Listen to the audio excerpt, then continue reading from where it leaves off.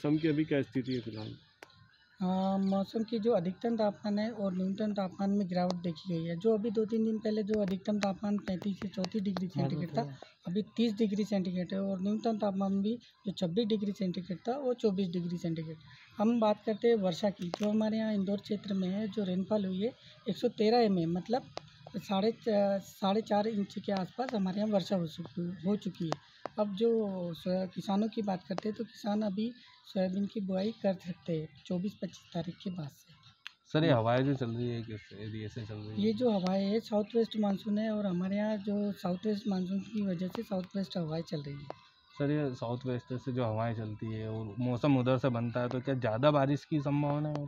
नहीं नहीं, ये जो हमारे यहाँ एक प्रिपरेशन है साउथ वेस्ट मानसून की, जो साउथ वेस्ट मानसून जो रहता है साउथ वेस्ट मानसून मतलब मुंबई हो गया और केरला तरफ़ से जो आता है, उसको साउथ वेस्ट मानसून बोलते हैं